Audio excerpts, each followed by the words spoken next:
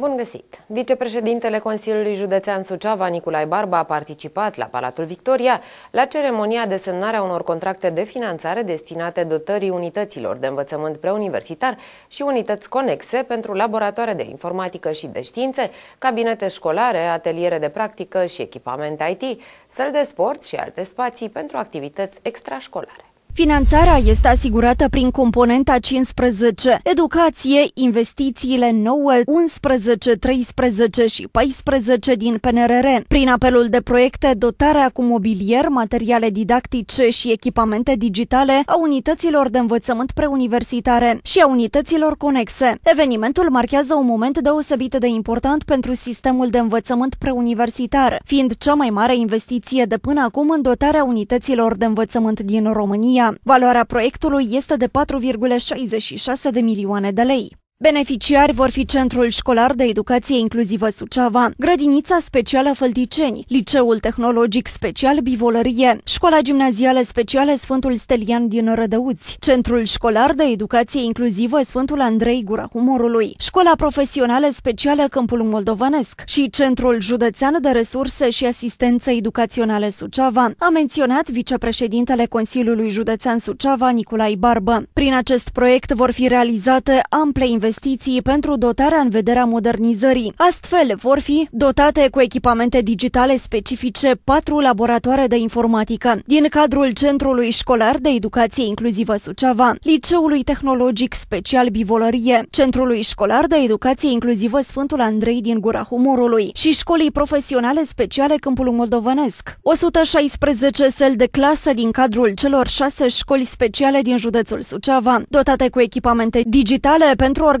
activităților în mediul virtual, 63 de săli de clasă din cadrul Centrului Școlar de Educație Inclusivă Suceava, grădiniței speciale Fălticeni, Liceului Tehnologic Special Bivolărie, Școlii Gimnaziale Speciale Sfântul Stelian din Rădăuți, Școlii Profesionale Speciale Câmpul Moldovenesc, dotate cu mobilier specific, o sală din cadrul grădiniței speciale Fălticeni, dotată cu mobilier și materiale didactice pentru activități sportive, un laborator de fizică-matematică din cadrul Centrului Școlar de Educație Inclusivă Suceava, dotat cu mobilier, materiale didactice specifice și echipamente digitale, 11 cabinete de asistență psihopedagogică din cadrul Centrului Școlar de Educație Inclusivă Suceava, grădiniței speciale Fălticeni, Liceului Tehnologic Special Bivolărie, Școlii Gimnaziale Speciale Sfântul Stelian din Rădăuți, Centrului Școlar de Educație Inclusivă Sfântul Andrei din Gura Humorului și Căjăraie Suceava, dotate cu mobilier, materiale materiale didactice, inclusiv echipamente digitale. Un cabinet de religie din cadrul Școlii Profesionale Speciale Câmpul Moldovenesc, dotat cu echipamente digitale. O sală de sport din cadrul Centrului Școlar de Educație Inclusivă Suceava, dotată cu materiale specifice necesare în activitatea sportivă și 10 ateliere de practică dotate cu mobilier, materiale didactice și echipamente digitale din cadrul Centrului Școlar de Educație Inclusivă Suceava și Liceului Tehnologic Special Bivolă Amarya